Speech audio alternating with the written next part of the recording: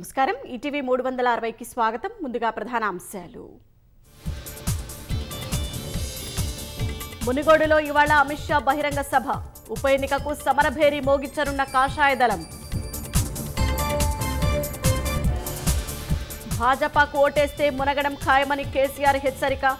కృష్ణా నీటి వాటాపై అమిత్ షా జవాబు చెప్పాలని డిమాండ్. వెయ్యి కోట్లతో భాజపా తెరాస రంగంలోకి దిగాయన్న రేవంత్. అభివృద్ధి కోసమైతే రాజగోపాల్ కాంగ్రెస్ నుంచి పోటీ చేయాలని వ్యాఖ్య. ప్రైవేటు పరం చేసేందుకే విద్యుత్ చట్టం సవరణ. ఈటీవీ ముఖాముఖిలో ఈఆర్సీ చైర్మన్ శ్రీ రంగారావు రాష్ట్ర వ్యాప్తంగా ఇవాళ సామూహిక హరితహారం.